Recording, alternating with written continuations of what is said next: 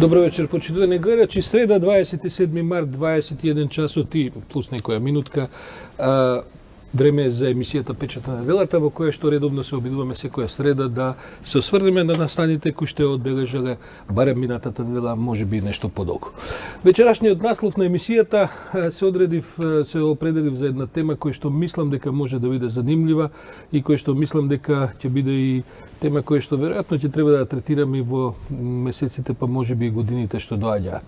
Има ли во Македонија заевизам?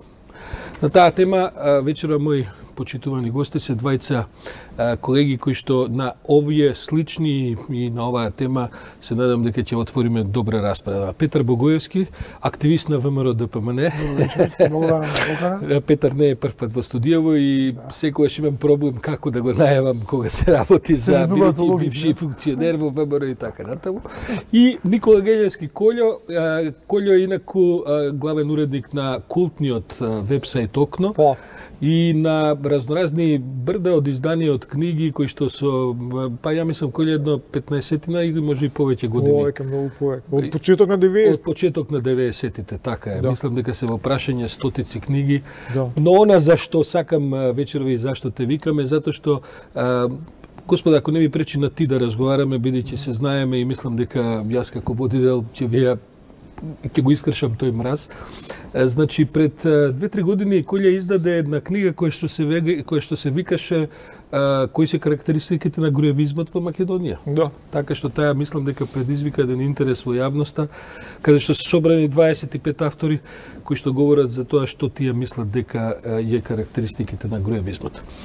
Господа, за да се говори за има ли заевизам во Македонија, предпоставувам дека треба прво да се зафатиме со тоа што е тоа заевизам, а предпоставувам дека оваа тема мене ми дојде на, на, на да кажем во, во центарот на вниманието, бидејќи веќе си веќе рече си да нема ден на некој од пресконференциите на опозиционата партија да не се говори за заевизмот. И гледам дека се прави еден обид да се дигне еден феномен а, кој што би требало веројатно да биде некаква паралела, некаква, да кажам, спротиставување на терминот груевизам.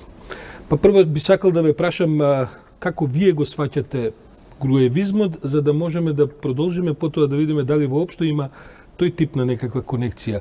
Богоевски, ти си пишувал барем во десетина наврати си настапувал и така натаму, дури прочуена е твојата изјава дека може би Груевски си отиде, ама груевизмот не остана во Македонија и така натаму. Да. Како ти го конципираш? А, јас баш оваа недела сакав, имав намера да објавам на колумна за груевизмот, али го сметам за тема која е веќе одмината. Mm а, иако поуките кои се провлекуваат или ни доаѓаат во минатото се многу значајни, да не се повторат. А, али она кое кое остана како главна одлика на, на нешто што се нарекува груевизам, тоа е обидот да се масовно изманипулира вистината, да се прикаже нешто кое е далеко од реалноста. Сега ќе ви кажам еден пример. Ние успеа во времето на Груевски, ние пошто сум дел од ВМРО па нели нормално без разлика што не се согласував со тоа, да прикажеме дека во Република Македонија како како Република Македонија сме трети по развој економски во Европа. Мислам дека во некој анализи да, бевме и пред Германија.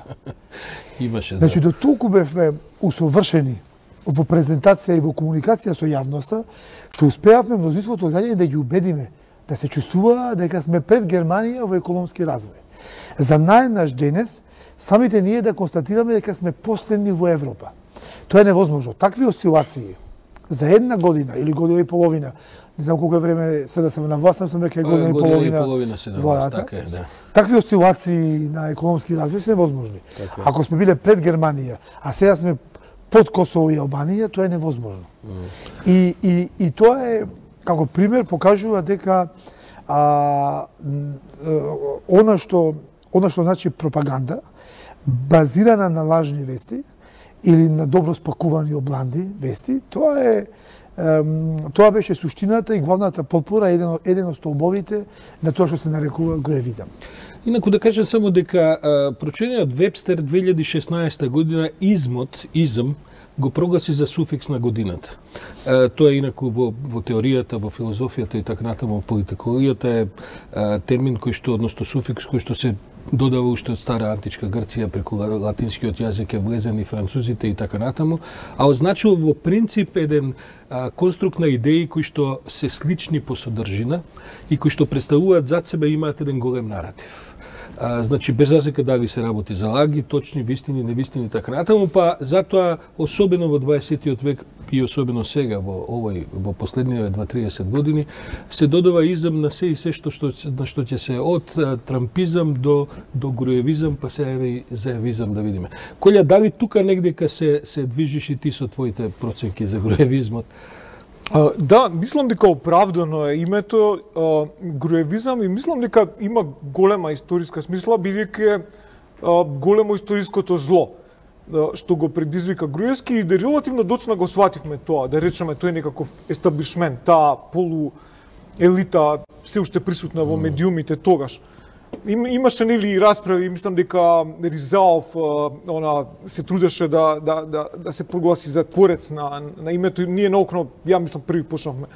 Да, тоа јас користиме. мислам дека вие почнавте да, да го користите. Али тој историски феномен е стварно она интересен, мислам за жал по зло е интересен и мислам дека случајот Груевски уште долго ке ке ке, биде како кажам, ке мора Македонија се соочува на ваков или онаков начин. Политички прецен, но за жал и на многу други рамништа, и културно, па и психолошки. Кога велам психолошки, сашо мислам дека заправо се, се работи овде, при, при употребата на, на заевизмот, новиот она глупав термин, според мене, за нарцизам на мали разлики. И тоа е тоа е динамиката меѓу ВМРО и СДСМ. Они се доста слични. Голем дел од СДСМ беше фасциниран од од груевизмот. Она кој им се дозволи малку да да се спротистават, а, они се спротиставуваа, да, ама во суштина беа фасцинирани. И тоа е една од причините зошто на некој начин продолжи груевизмот. Тука Петар има право, дури кога СДСМ дојде на власт, и обратно, овие се фасцинирани од Заев, од договорот во Преспа, од начинот на кој релативно лесно Заев им прости и рече тргнуваме од почеток, така што тоа е тој нарцизам на мали разлики и тоа е тоа што ги, ги прави малку хистерично да се однесуваат едните и другите нерационално. Сакам да ви го цитирам Анастас Вангели, наш познат млад теоретичар, кој што мислам дека прави една кратка дефиниција за горевизмот, во кој што има неколку елементи кои што ќе можеме да ги искористиме веројатно и за ова што вечера би го разговарале. Тој вели мене во интервју за за Слободна Македонија, вели горевизмот како политичка, но првенствено ментална матрица е комбинација на приученост, манипулација и лажење, силеджиство, коруптивност, шиканирање на неистомислениците, водење тефтерчиња и злопаметење, мислење касети следува и така натаму. Тие вредности под наводници се интернализирани значи се повнатрешнети, помеѓу другото и од страна на голем број луѓе кои се декларираат како политички противници на Груевски. Таа матрица ќе ни биде оставена во наследство кога Груевски ќе се оди, бидејќи ова интервју е давано пред да си замине Груевски. По неговото заминување, во Македонија ќе има многу мали груичиња од секаква провениенција, низ целиот политички спектар и граѓанското општество и иако мала земја, Македонија може лесно да ја замислам во состојба на војна на секој против секого. Ова изгледа дека една профетска, прилично точна прогноза за она што што ни се случува. Има ли паралела Петар помеѓу груевизмот и ова што еве се конструира како заевизам? Може? Тоа изам јас би го дефинирал како период на управување на еден премиер со со Република Македонија, со државата, со Република. Мислиш бранковизам, да, бучковизам, и кога се подготвував за, за вечера, баш размислував што би зборувале на оваа тема. Јас дефинирав неколку изми. Романтичен клюсевизам, но на национално будење и оне романтизам и они знаете сите негови изјави. Суров бранковизам, мек лјупчовизам, бранков костовизам, интересен бучковизам, погубен груовизам и зачетен заевизам. Кратка историја на Што значи тоа? на демократска Македонија низ избите. Не измите. Добро, да. во видување на Петар Богоевски се разбира, да, не мора да, да, се да. согласиме со. Е сега имаме проблем со заевизмот. Кој постои, јас го сметам дека постои, меѓутоа имаме проблем кој а, неговиот мандат а, прво е актуелен, второ е релативно краток, година и половина. И многу тешко може да се направи оценка без да имаш една подалечна перспектива од актуелните случувања. Да речеме и мандатот на Бучковски беше краток. Меѓутоа имаме историска, имаме временска дистанца и можеме тоа без емоции да го да го набљудуваме, но заевизмот е актуелна Во развој, допрва. Да, ак- актуелна актуелна појава и и сега не е дискусијата според мене дали има или нема заевизам. Неодискусијата е што се одликите, карактеристиките, кој методи ги користи за евизмот. Јас се молам пред да преидеме на карактеристиките. Сакам и Колја да го прашам, бидејќи тоа е она и, и, и пледоајето, да кажем, на целата дискусија.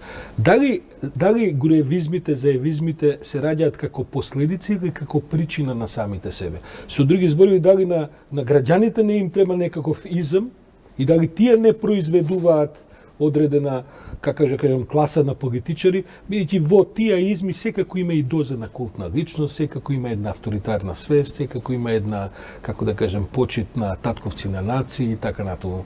Тоа е Сега, клучно. Мислам дека дека таа врска е взаемна. Да, дека да. таа не е неопходно наметната од страна на некаков диктатор кој сега кој може да биде и диктатор, меѓутоа има одредена атмосфера Тоа е која клучно. Па ние очекувавме заправо Груевски да се ослободи од култот на, на, на водачите, како да кажам.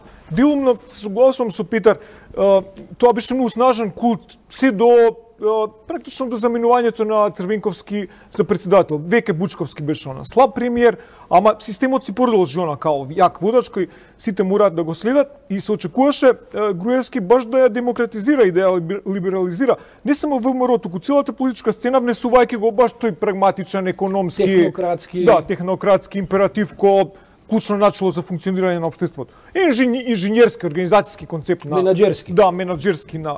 Ама баш напротив, испадна дека е тоа најголемиот автократ, дури кој е прилично луд, според мене, баш она, психопата, ко Милошевиќ, а, а тоа се многу опасни луѓе. Немаат немаат доволно, како кажам, немаат знаење, немаат психолошко дури знаење, немаат емпатија и брзо знае тоа да ги фркне. Тој, тој мислам мокта. Во, во комбинација со ова ти што го велиш, со поданичка свест и со заправо конформизмот на луѓето. Знаеш што што е во позадината уствари на поданичката свест и на конформизмот? Неодговорност. Заправо супер име на сите. Некој за се друг. е крив Груевски. Кој што сега, за ЕФ, за се. Никој за ништо не е одговорен. И тоа на највисоките ешалони, така и дури во рамките на партијата. И они наместо да го разбијат тоа, баш да се воведат многу строги начала на одговорност на сите можни нивоа, они го зајакнуваат во тој собствен нарцизам. Дали изворот на сето тоа, Петар, бидејќи ти си тука на масава партијски човек, не се партиите во Македонија? Дали тие не се пр... Прво- примарното прво- врело, да кажем, на, на, на тој Да. тип на барање на такви? Тоа веќе можеме еден докторат да напишеме. Политичарите прво за мене се огледален израз, буквално огледален израз на, на граѓаните. Расположението на граѓаните често и го обликува поведението на политичарите. Ако граѓаните бараат крв, гладиаторски битки, бараат навреди во ТВ дуели, бараат силни патриоти кои ветуваат од ракав все и се што, па дури може би ќе стигнеме повторно до Индија, тоа политичарите го нудат.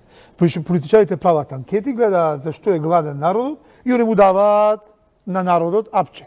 Да, ама му тоа се вика, храна. тоа се вика governing by the polls, не by the goals. За жал, што има за жал. разлика во И тоа веќе не кога е анкетите ве водат во тоа политиката. веќе не е лидерство, тоа е веќе фоловерство, обратно, Така е. обратен Така процес. Но за жал во Македонија најприсутен. Е сега поведени внатре партиското расположение, јас ги викам партиите се еден од во Македонија и од битните елементи и на социализација и на образование и воспитание на луѓето. Бидејќи вие добивате млади луѓе кои се вклучуваат, како јас што се вклучив во активизам во партијата, и ние буквално растеме низ партиските структури. Ние буквално се, се, се градиме како личности внатре. И буквално учиме што е тоа демократија, кои методи Систем на вредности. Да. И сега кога вие во партијата учите дека ова правило е најважно, а тоа е кое е? Ти нема што да мислиш. Има кој да ти мисли не за си тебе. тука да мислиш. Ти си тука да извршуваш. Има кој да мисли. Кога тоа е императив број еден во партијата, тоа апсолутно те прави тебе да научиш дека тоа е нормално и кога ти еден ден ќе бидеш промовиран во директор, министер или било што, без разлика што си млад човек од нова генерација, ти започнуваш буквално да се однесуваш во рамки на она што е веќе воспоставена униформа, она што е униформирано однесување. И тоа е главниот извор не, непостоењето на партиска демократија е главниот извор на непостоење на демократија во државата. Тоа е ова што го нарекуваат султан партии, во суштина нашите партии сите, со баги поголеми, да кажем, само може би презентативни разлики помеѓу СДСМ и ВМРО, се во суштина комунистички партии.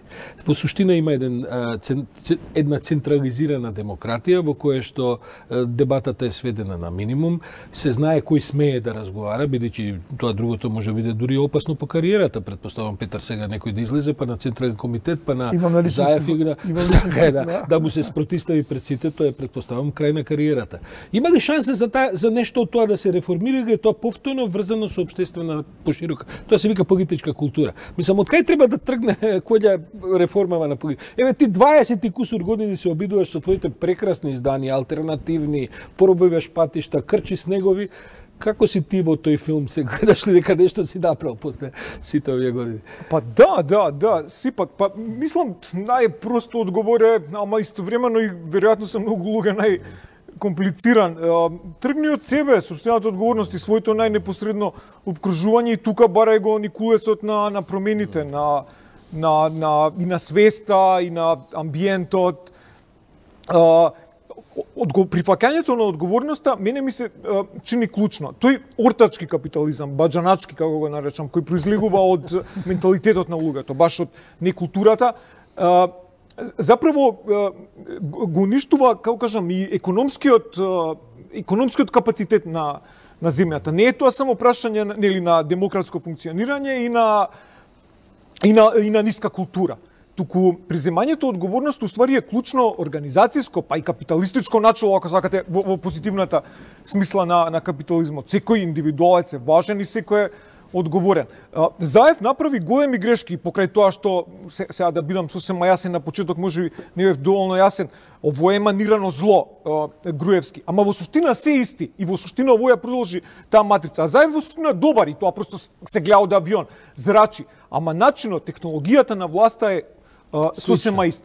И направи големи грешки што апсолутно не се дистанцира од тоа, ниту ниту онака како да кажам емотивно, психолошки на на личностен план, ниту политички, ниту ниту во некои потези. Он баш ова што а, зборувате вие двајца, а, нели го даде својот телефон, Знаете, Да, да, да, да. Македонија е таква земја за што за најбанални работи се вртат телефони на министри, на мислам тоа е неверојатно. Тоа е тоа е такво расипање на енергија, на на хиерархии, на и тук тогаш ти е јасно дека земјата не функционира апсолутно.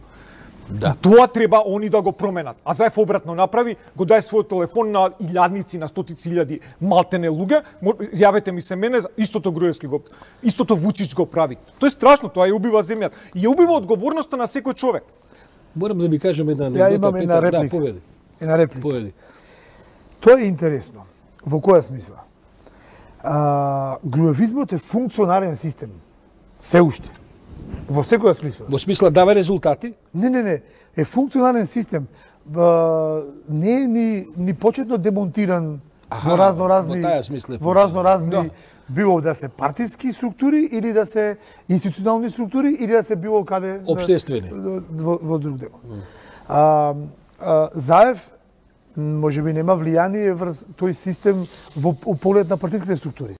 Меѓутоа и тоа како наследи апсолутна моќ во да, да са- буквално буквално грујовиот конј ги преземаш само уздите, се качуваш и продолжуваш да го јаваш.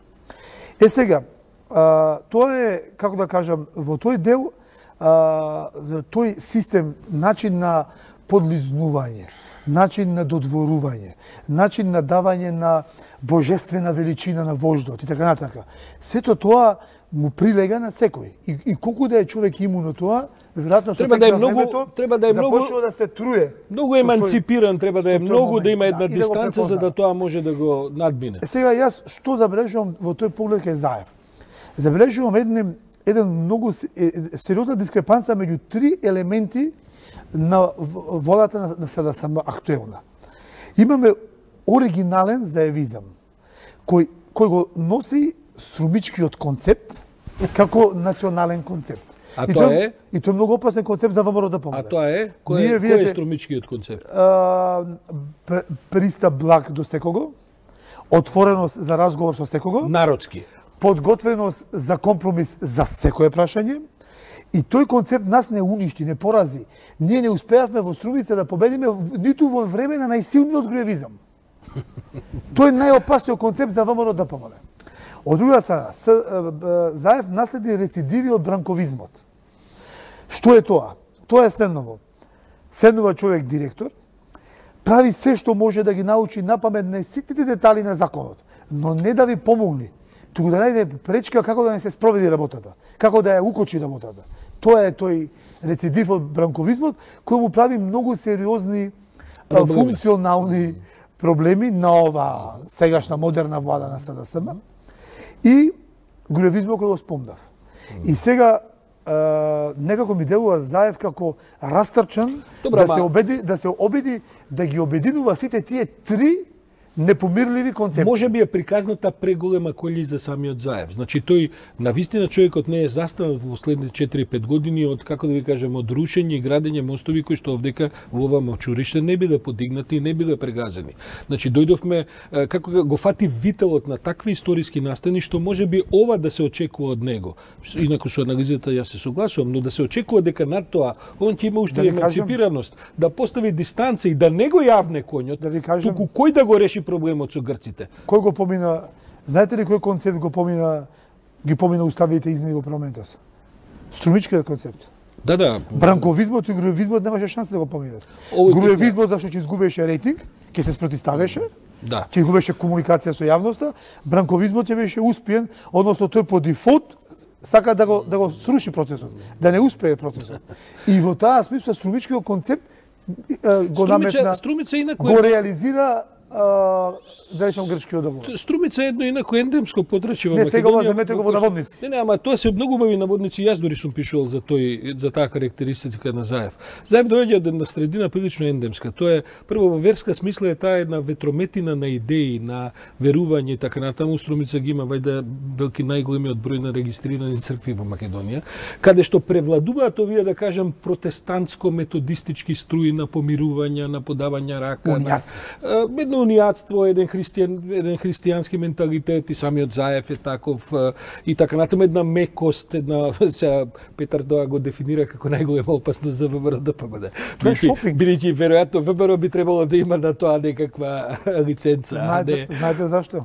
Од друга страна, тоа кај вистинските социјалдемократи создава нервоза, бидејќи ние не сме навикнати да првиот ред на социјалдемократската партија биде на Великден се турка со поповите, ако може они прво да го бацат крстот, па потоа сите други. Но очигледно дека тоа функционира со јавноста или барем со еден значаен дел од јавноста. Не, јас мислам сашо дека ова е малку банализација, мада ми се свигаат метафорите, да, за источниот питом карактер на македонецот и за бурниот револуционарен ВМРО-ски карактер. Ама во суштина, едно за и другото не е точно. Мислам, да бидам критичен, кој што е Петар критичен кон е, Заев и ССМ со право, колку што е тоа опасно за ВМРО, ја би рекол дека, мислам, тој, да, да во наводници струмички менталитет, ја би рекол дека ВМРО е опасна за Македонија.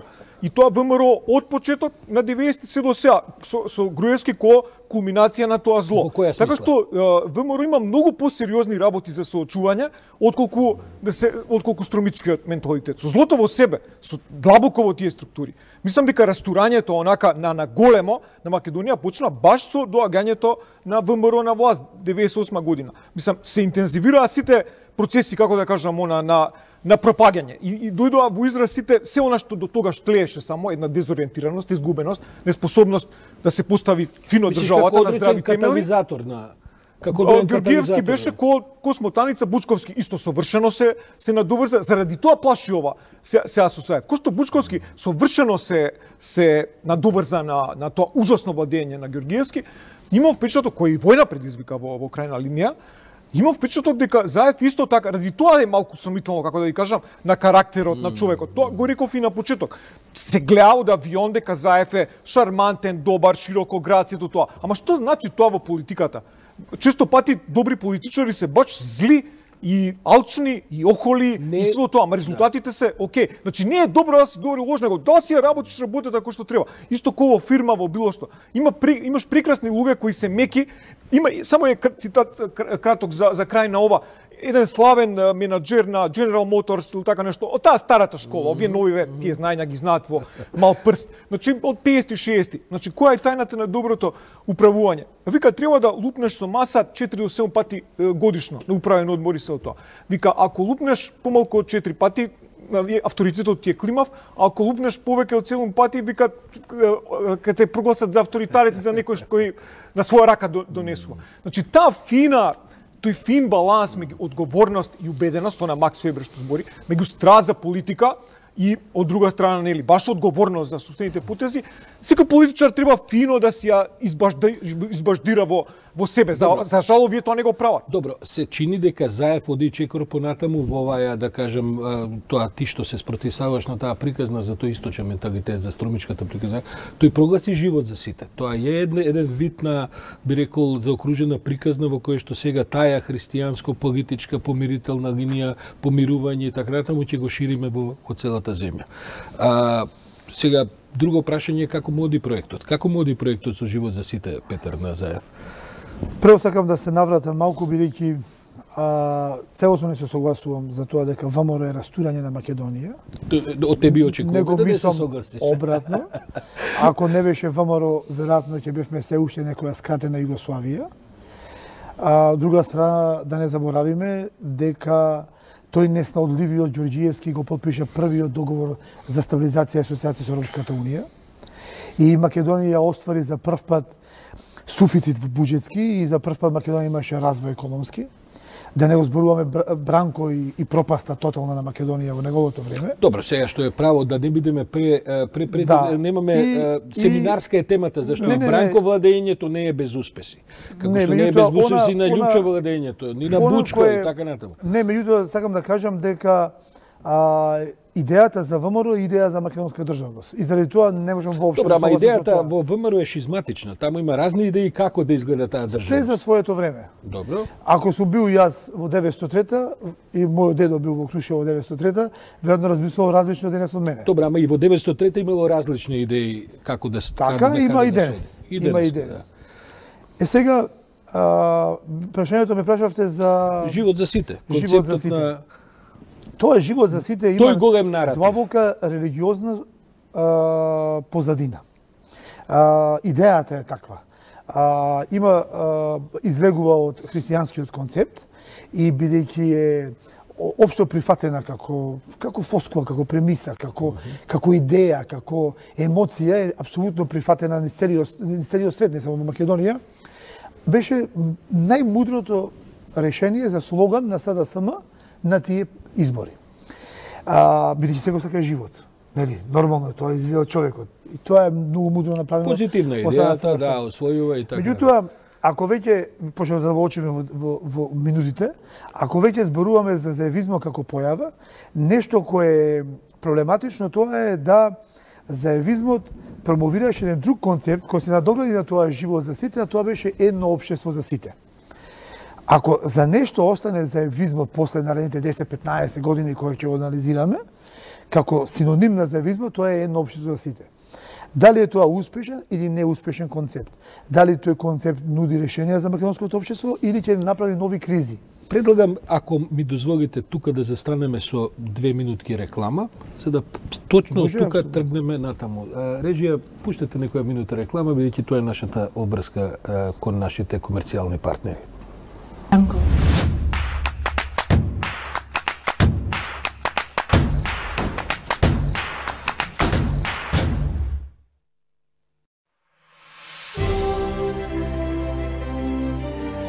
Среќен роден ден, еден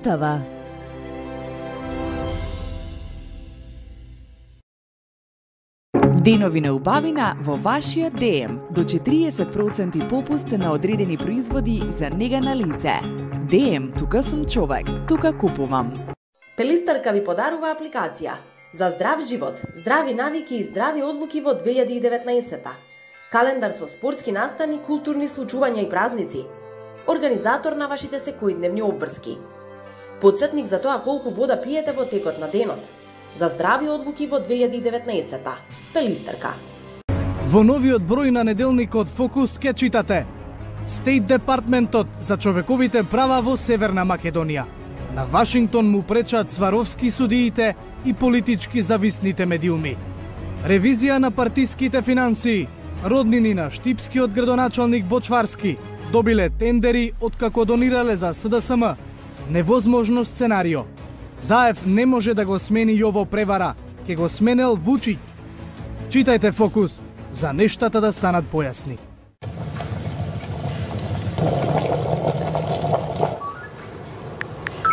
Вака ли треба да изгледаат нашите заеднички утра? Сигурно не.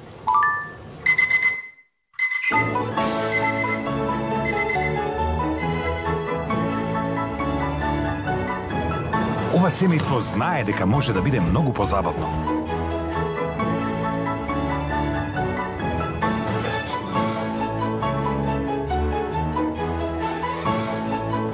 Направете го вашиот дом паметен со Smart Home. Користете ја технологијата за добро.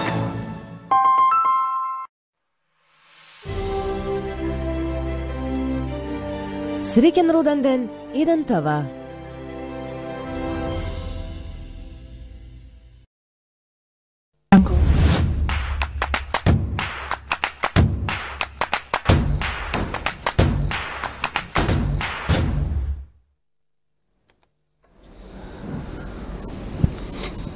Еве токму се враќаме назад во студиото, темата има ги за во Македонија, стигнавме до концептот за едно општество за сите.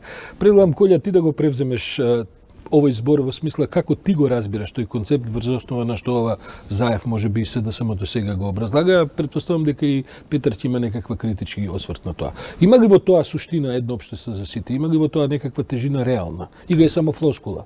Само флускула, да, и пак со Петар не се согласувам. Во, во смисла дека имала добар слоган и воопшто дека нивните слогани и флоскули предизборни и изборни принципи начала се се добри, баш напротив, мислам дека На СДСМ на СДСМ, да, иако се победнички. Ама окей, мислам победникот нели треба да се почитува и неговите се и кампањи, и идеи, ама конкретно не видовме дека има голема смисла, малтене одма си спумпа идејата, да дојде почна ковид да се користи.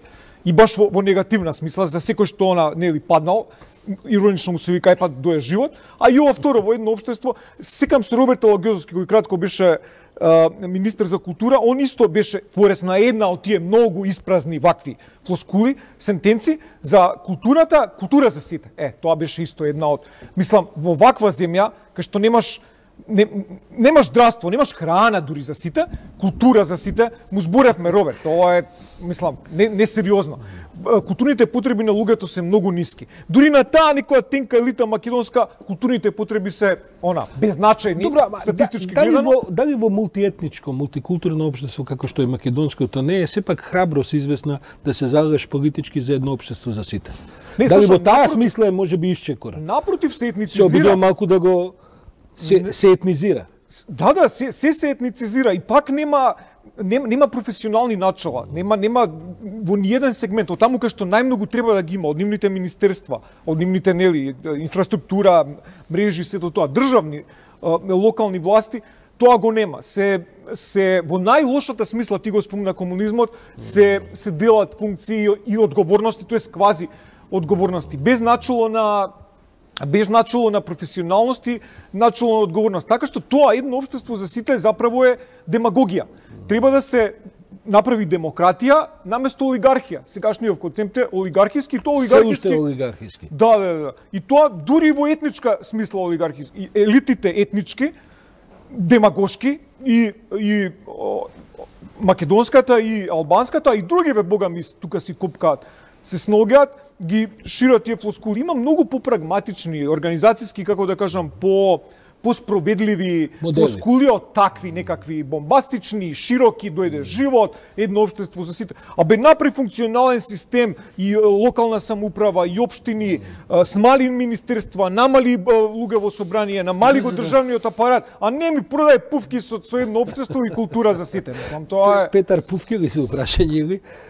Па, животот, ветувањето за живот, кој кажавме извиде од христијанската филозофија, е антипод на христијанското поимање на индивидуалецот. Едно општество за сите е антипод на живот за сите, бидејќи едно општество за сите е концепт на колективитети.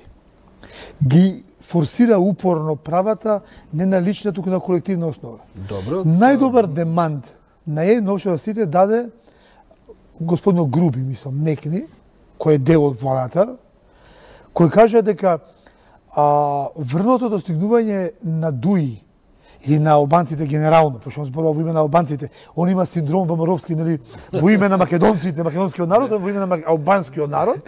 Тоа малку ми е смешно мене, можам зборувам само во свое име, во народот, на избори народот зборува. Вика, не, не кажува што ќе добијат албанците или сите ние со изборот на Пендаровски за председател на Македонија, туку вика, албанците ќе добиеме и гувернер. Ама при тоа не кажува тој гувернер ќе биде најдобриот економист, да. најдобриот финансиски Так, так, познавач на тие Ја кажува трговијата која што и за целата таа Не, ама ама он кажува дека ќе добијат албанците. Значи тоа е тоа е најдобар начин со кој директно го демантира и го крши во во Добро. во колена го крши А- тоа а- а- тоа едно општество за Да, сите. да бидеме сега малку фер, да ве прашам, да немаме ние преголеми очекувања од овој заев? А, мислам, добро, самиот ги нуди тие очекувања, бидејќи самиот ги смислува тие слогани, живот за сите, општество за сите. Да не сме малку премногу, како да кажем, каква е критичката свест во општеството? Има ли во општеството Тука капацитет клучно, да. за ова да се направи? Бидејќи сега ние од Заев, човекот сепак беше градоначелник на Струмица, покажува одредена храброст и интегритет за да истера некои работи, ама па сега не можеме од него да бараме да биде, како да кажем, комбинација на филозоф, социолог, политолог и да Не, пореалниве луѓе знаат дека овде ништо не може драматично да се промени дури ни за 5-10 години, ама очекуваме од нив добро да го трасираат патот, да постават солидни темели за нешто да се случува Па ако ништо друго очекуваме и добар тим да извади. Точно. Бидејќи меѓу другото од- лидерот ова што го разговаравме пред малку менаџерите, да успешните менаџери бараат првокласни соработници. Неуспешните бараат второкласни бидејќи тие носат после третокласни, така што човек може лидерот да го суди и по тимот. Тимот е веројатно секаква објективна анализа ќе се ќе покаже дека е малку климав, да кажам вака благо речено. Има Е, во таму тој- во има тој таму момент- квалитетни луѓе, но има и луѓе кои што веројатно не ги заслужуваат тие позиции. И Во, сега тој- во тој поглед, актуелниот председател на ВМРО ДПМ Христијан Мицкоски има сериозен проблем со тимот. Има членови во тимот кои се не се заразени, него они во нив веќе вирусот на груевизмот е одомаќенет и тие се целосно веќе Ма тоа се млади луѓе, Петар, јас гледам таму речи Добро, си... има и млади и возрастни. А, добро, возрастни во која смисла имам 55 години, па се Не, не мислам тоа. Добро, извинете, со поголем стаж во партиски, партијата. да. Аха, да. Бидејќи тоа е една, исто така, Така еден, да- од, еден од проблемите да се мисли дека неопходно младите се секојаш квалитет. Мислам, не знам дали е тоа баш така. ВМРО ДПМ има еден голем проблем. Кон, пример СДСМ е исклучително затворена за шопинг на, на други кадри вака. Mm. Не знам ќе се сетите, постои ли пример каде што бивши министер од ВМРО ДПМН преминал во СДСМ во раководството или станува е, кандидат за председател на Македонија. Тоа мислам дека не постои во СДСМ. Мислам дека нема, Во да. ВМРО ДПМН е, некако се импресионираме од кадрите на Не, на морам да СДСМ. признам дека Груевски беше во таа смисла вешт и поотворен. Да, и ги Груевски прифаќавме. луѓе не неопходно кои што беа. Груевски бараше лојалност, меѓутоа не неопходно во идеол, бидејќи самиот Не идеолошка, идеологија, да, лична нема лојалност. идеолошка, лична лојалност. Така што кога ќе го видите тимот на Груевски ни сите овие години имало таму луѓе кои што се навистина шарени И благоречено. се имаме тука еден проблем смисла. сериозен. Кој е тој проблем? Ние во, во период во 2010 година ние извршивме токав шопинг на клиентелисти во што а, станаа доминантни во партиската структура во 2011, 12, 14 година. И сега најнаш во партијата се почувствува празнина, бидејќи клиентелистите престана да добива храна од оваа рака, од ВМРО-вската рака, и веднаш преминаа да собираат зоб од СДСМ-овската рака. И тие сменуваа на страна. А тие беа репрезенти најактуелно вклучени во нашите партиски тела.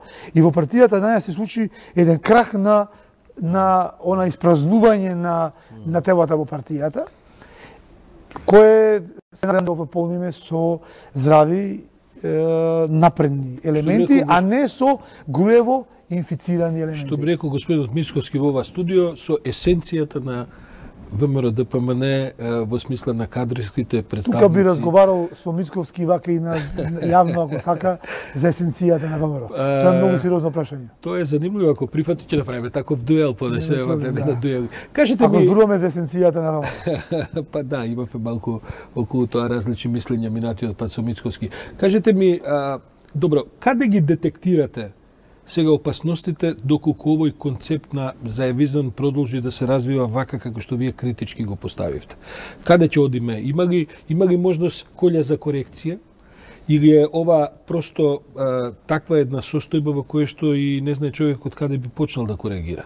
Ма не, каде, как, како ќе заврши ова? Как, на каде ќе оди? Па, во Македонија најмногу причи, ти два пати само бегло го допред тоа, а, она сите знаат се, она сите скол фудбалски селектори, таа општост во, во судовите. Тоа, знаеш што се помалку има стварно сериозни расправи. И оваа една од тие општи, ама добро, ние од почеток ја имавме таа општа рамка. Често пати има као релативно као строги рамки и пак луѓето се расплинуваат во Заев, во Груевски, во ССМВР. Таа што се е многу задушено. Можда колја еден од одговорите и овој тип на дискусии, каде што сепак се надевам дека не штедиме никого и секому според тоа како мислиме го сервираме. Може би тоа е еден од рецептите, бидејќи видите ова оваа атмосфера Петар ја немаше до пред години и пол две. Значи имаше една на критички однос на критички однос во јавноста да можеш да излезеш на влијателна телевизија или на која било телевизија во крајна линија да кажеш може би е тоа некаков коректив кој што ми е ја имаше тоа, скапо е платив. Да, скапо е платив. Зборот ми е тоа она славна реченица на Хан Арен мораш да тргнеш од негде. Не можеш од таму да тргнеш. Тргаш од местото кај што си и секогаш можеш да тргнеш во концентрационен логор, она, она, правиш планови како, како да преживееш, како да избегаш. Така што тоа ми пречи една обшта, нели, апатична, нихилистична свест во Македонија, која стварно онака преку нос ние. Од друга страна, фала Богу, ако ако не гледаш реално дека работиве не се добри, тоа тоа не е добро. Како и да е, значи од власта очекуваме да создаде баш онака атмосфера за за индивидуалци и за потфати и за надеж, а не а, а во моментов тоа мислам дека не го прави. Така што тоа тоа е да речеме тоа би биле некакви во очекувања, повед. Така е, така е. Во својата последна во својата последна колумна Петар инаку говори и последна или предпоследна ја читав, да, во последната за трковијата со надешта. Инаку во принцип во теоријата се зема дека десните партии главно тргуваат со страф, а левите партии главно тргуваат со надеж. И дека кога ќе се претера и во едното и другото, но особено со стравот, тогаш му знаат работите да излезат од рак. А Колја ја спомнува надежта како една од а, моćните А и најважно е сашто само поентирам со ова, се да, што е суфр. Ја мислам дека клучно е уствари да се одмориме малку од ССМ и ВМРО и дека тие малку поодговорни луѓе од елитата, па дури што си во рамките на ССМ и ВМРО, мада тоа е нели она последниот од кој би очекувал, очекувал помош, дека треба уште еднаш, ба знам дека сите досегашни обиди беа катастрофални, да создадат некаква солидна трета трета варијанта. Зборам може дури на овие активистичкиве нивоа, кој што е можемо сега во Хрватска, една сјајна онака како кажам, глобално лева опција, со изворени принципи, со планетаризам, со одговорност баш на европско и на светско ниво, сето тоа, а и десниве бога ми имаат се покреативни, поинвентивни начини на здружување, на собирање, на онакви хибридни Мислиш дека премногу го окупира така што, Апсолутно, да. На тоа и мислев кога викам едно те исто, Заев, Груевски, така Бранко Ценцов, Љупчо, така. мислам, не, во нив више нема енергија, нема историски, нема дневна, нема ништо. Нови луѓе, нови актери, нови начела, мора да се освежи политичката сцена. Заради тоа е одговорноста на целата елита, да речам македонска, не само политичка, и економска и се тоа. И тоа е начин да се преземе одговорноста исто. Одговорноста за собствената заедница, за општеството, па дури за регионот и за Европа. А не само за собствениот газ. Мислам, знаеме дека они сите си, си, си се снабдени, зборам за економскава елита, да. ама тоа не е доволно. Така, и не мора, во современиот свет. Да значи дека долго ќе трае. Петар, каде се опасностите од Треба да трнеме до крајната цел. Е, условно го земаме, НАТО реализирана цел. одиме до новата цел, тоа ни е ЕУ. Таа не е дестинација. Сега, за сега, најдолго, вака најдалеку сежна, што можеме да погледнеме ние. А, што е, кои се примери од таа лажна надеж, сење на лажна надеж. Хрватска, Бугарија, Романија. Претеризмот на ширење на лажна надеж. Еве нека биде од левицата. Тоа може да биде дел од заевизмот инаку. А, апсолутно е дел од заевизмот. Надеж, да. Па, па јас пишувам за професорката Силјановска која доаѓа од левицата. Да. Значи она природно е да шири надеж, пошто она е левичар. Да. Ние сме Националист, природно- како ние сме, може левичар ние да сме, биде? Тоа формално била во левичарски структури. Не, левичар. Од, од опортунизам и од мок, инаку национализам не може да биде левичарски. Добро. Добро, тоа море. жесток национализам, не е тоа онаков да либерален, она, она еманципиран национализам, она- него има, има национализам пол со омраза. Добро, ама она о, о, ја покаже есенцијата на левицата. Семејне, семејното стојбо го покаже пред јавноста отворено. Она партизанско наследство, така да она целосно се идентификува со да ја прерипнеме ние Не, друга е бидејќи- друга е поентата. Зошто таа надеж е опасна? Бидејќи кога нема да се исполнат очекувањата. После тоа, а во самата колумна пишувам токму и за СДСМ, да. После тоа доаѓа до огромно разочарување од промотерот на надежта. И во граѓанството се губи интересот и за избори, разочарување и така натака. Тоа ја, ја загрозува тие европската иднина на Македонија. Е сега едно од м, е, прашате што ме плаши како понатаму за евизмот, докаѓа носи за евизмот. Извини, Петар, само да ти плаши? кажем, во политиката постои едно правило. Сите ќе ти простат се, освен ако не ги лажеш. Значи, како кажем, Да, јавноста, јавноста бара да и Да кажуваш лажеш. приказки, да и кажуваш надежи, бидејќи јавноста не ќе да чуе реалноста, реалноста Македонскиот народ цело време по Фейсбук пишуваат кај ќе најдеме политичари кои не не лажат, а гладни се за лага и бараат да ги лажеш. Тоа е оваа критичка свест за Ке ми која дозволиш ова само да Да, да, поведи. А, јас се нарекувам таа декларативна европеизација. То, од тоа се плашам најмногу како одлика на заевизмот. Тоа што значи? Полна уста европски принципи, полна уста европеизација, но на дело Непотизам, корупција. Не, не, не само тоа. Тоа за тоа кога кога би обработил на поубаво со докази еден- Досие. е- е- е- емент, па да го презентира. Меѓутоа што ми е побитно? Тоа е оној оној дел каде што наспроти сите европски правци или она што е веќе воспоставена пракса во Европа, а тоа е достап на, на, до до граѓаните на најатрактивните сектори банкарство, а, ресурси, енергетски сектор. Ние тоа го држиме строго за ограничен дел од македонските граѓани, односно за олигархијата. И сега, ако ние европеизираме Македонија, ние прво што треба да направиме е целосна либерализација на банкарскиот сектор, бидејќи ние сме де факто заложници на една банка. Од друга страна, Да, енергетскиот една сектор, банка која се состои од повеќе банки. мерките да кои да. сега ги воспоставуваме во енергетскиот сектор се апсолутно исти како не во Белорусија и во Русија, ама не во Германија. Ако сакаме да одиме вистински во Европа, па дајте да не измислуваме топла вода. Германците сигурно смислиле подобро од нас. Само да ги препишеме тие регулаторни мрежни, вакви, Па не онакви може, правила Петар, нај- и да ги имплементираме во? Македонија. Како може да од, од најбогатата земја која има до 85 милиона да Зборуваме- препишуваш?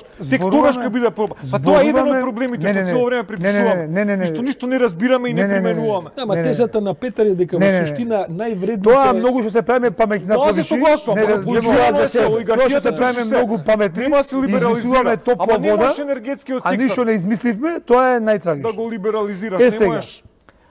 Предприемничка иницијатива. Во Македонија има илјаници млади луѓе кои имаат вроден дух предприемнички. Не им треба вработување во администрација. Да, ма сите бараат работа Ако- во администрација. Не е така. Не е така. еве, имам така е. Не, имам јас Сите се примери тепаат кои не бараат. распише полиција Не. конкурс се пријавуваат на Проблемот- последниот 4000 Не, луѓе ама се немаат избор.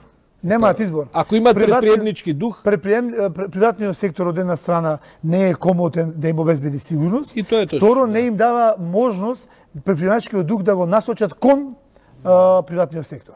И за тоа го зборувам. Ако овие сектори атрактивни им ги отвориш за тие млади предприемачи, тие ќе се втурнат во надпревар кој да биде најдобар во таа област. А ако водата регулира како да ги трне сите нив настрана од благото, од богатството државно обшествено, и тоа го држи само за неколку за, за елитата, каде за, за каква левица станува збор од СДСМ, за каква европеизација станува збор, кога се сосема обратни процесите. За тоа зборувам како еден од најголемите дефекти на денешното функционирање. Разбирам. Колја некоја завршна поента?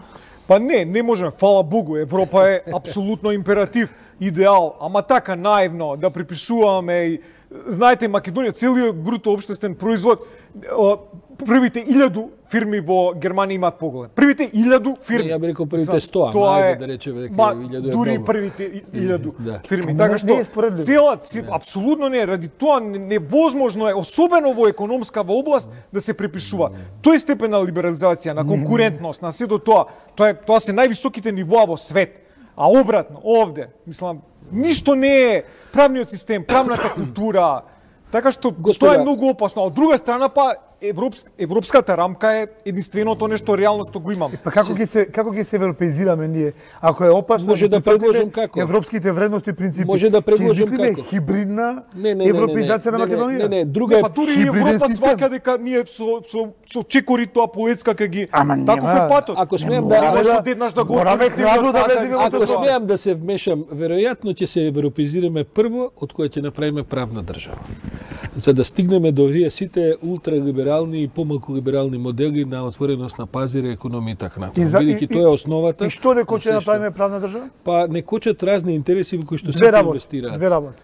Систем. Бидејќи имам уште две минути, две работи, Еве за 30 правосудството, баш сакам, еве, еве 30 секунди поента. Две работи ја коча правната држава. Личното поведение на тие кои го практикуваат правото во Македонија, суди, обвинители и така натака, Се разбира. и немањето на систем. Веројатно и тие ќе се подобрат како личности ако имаме систем. Ако оставиме на македонски паметњаковичи да смислат хибриден некој систем, никогаш нема да решиме проблемот. Зашто не заиме успешен систем од Европа?